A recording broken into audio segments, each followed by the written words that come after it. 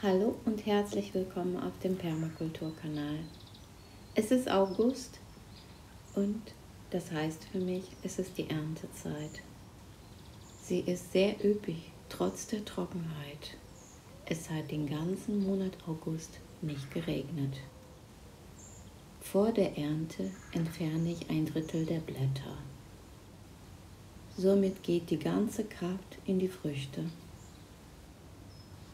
Die Erntezeit ist meine liebste Zeit. Da sehe ich immer, was gelungen ist, was nicht so gut geklappt hat im Saison.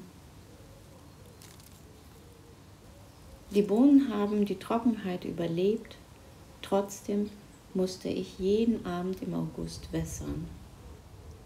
Die Mullschicht habe ich dreimal nachgelegt. Es war der Rasenschnitt oder der Heckenschnitt alles, was der Garten hergab. Aus ersten Bohnen kochen wir immer eine leckere Bohnensuppe. Sie essen wir wirklich am liebsten. Dieses Jahr möchte ich sie auch einkochen. Diese späte Sorte ernten wir von Ende August bis Ende September. Auch einfrieren habe ich ausprobiert. Das hat letztes Jahr tatsächlich ganz gut geklappt. Zwischen den Bohnen wachsen die kleinen Cherrytomaten. Die kann ich für die Bohnensuppe auch ganz gut gebrauchen. Frisch schmecken die natürlich am besten. Das ist beinahe ein Automatismus. Sobald die Tomaten geerntet wurden, schneide ich ein paar Reife auf und entnehme ein paar Samen aus der Tomate fürs nächste Jahr. Manche Sträuche erscheinen besonders robust. Die Früchte sind süß und so kann man die Tomaten selektieren. Das ist mein Saatgut fürs nächste Jahr.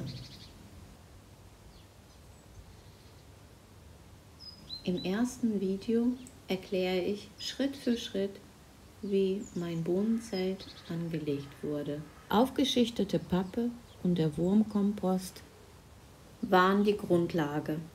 Tomaten, Bohnen und Kürbis sind Starkzehrer. Sie brauchen viele Nährstoffe. Mein Wurmkompost war genau die richtige Grundlage. Danach kamen drei Mulchschichten, die die Pflanzen vor der Austrocknung beschützt haben. Unter der Mulchschicht sind die Würmer, die Kompostwürmer.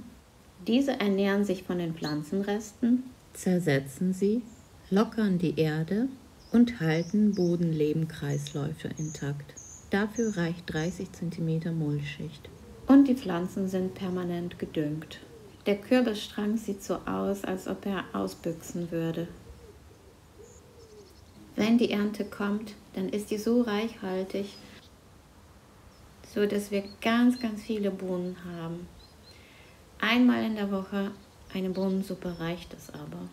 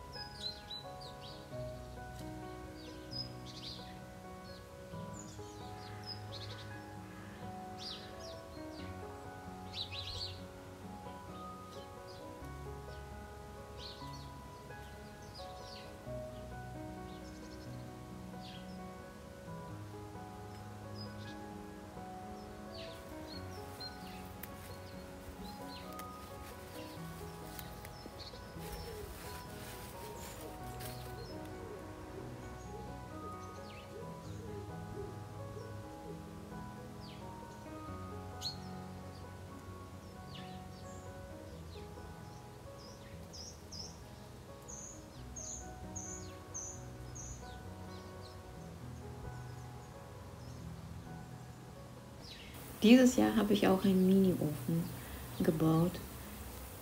Für die Bohnensuppe werden erstmal die Zwiebeln angebraten, danach geraspelte Möhren kommen hinzu. Circa 10 Minuten bleibt alles auf dem Ofen und die Möhren müssen weich werden.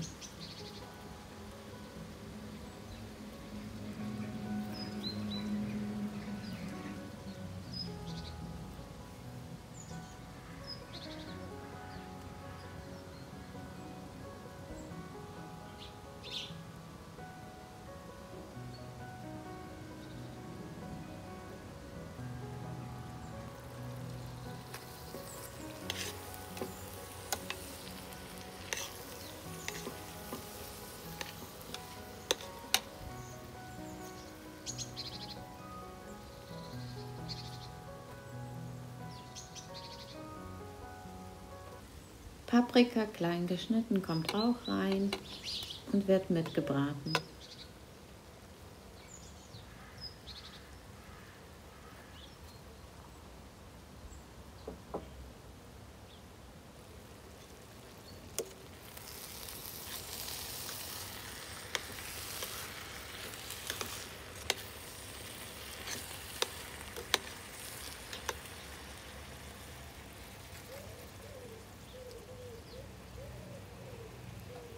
Dieses Mal hatte ich noch Zucchini, die können auch mit reingegeben werden. Wenn du keine Zucchinis hast, dann lässt du das einfach aus. Gewürze und klein geschnittene Bohnen kommen auch hinzu. Wer die Säure mag, gibt Tomatenmark oder auch Tomaten frisch mit rein. Meine Töpfe sehen total verrust aus. Ich könnte heulen. Magst du Kartoffeln? Kannst du ein, zwei auch klein schneiden und dazugeben. Jedes Mal koche ich etwas mehr Suppe.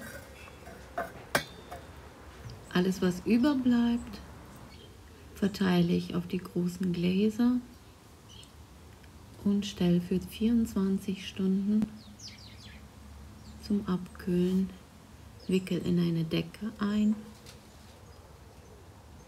Nach dem Abkühlen kommen die Gläser in den Keller. Ab November essen wir dann die eingemachte Suppe. Ich mag dir mit einem Klecks Naturjoghurt oder Schmand.